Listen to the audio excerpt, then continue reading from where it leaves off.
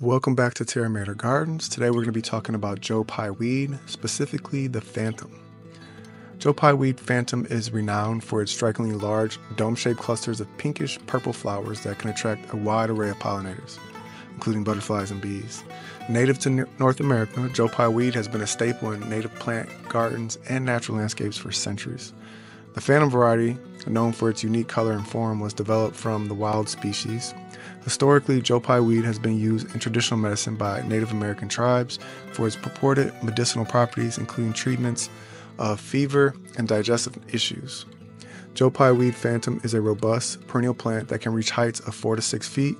It features large, dark green leaves with serrated edges, and in late summer to early fall, it produces an impressive dome of fluffy pinkish purple flowers. The plant has bushy, upright growth habit with stems that are strong enough to support its large flower clusters. Phantom thrives in full sun to partial shade and prefers moist, well drained soils.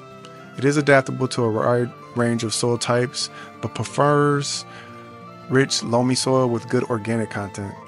Plant can tolerate wet conditions, making it suitable for rain gardens or boggy areas. Regular watering is essential, especially during dry periods, to maintain its lush foliage and vibrant blooms.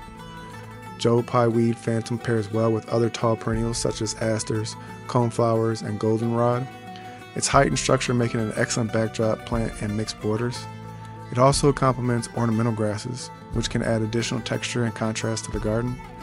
For a naturalistic garden setting, it works well alongside other native plants like black-eyed Susans and rudbeckias. This cultivar is known for its strong upright growth and impressive flower clusters. It can sometimes self-seed in favorable conditions, though it is not overly invasive. Joe Pye Weed Phantom also has a tendency to attract pollinators, which makes it a valuable addition to any garden focused on supporting local wildlife. The plant's robust structure means it often does not require staking, though it may benefit from some support in windy areas. Joe Pye weed is primarily grown for its ornamental value. It has historical medicinal uses. Native Americans used the plant to treat fevers and digestive issues, although modern herbalists use it less frequently.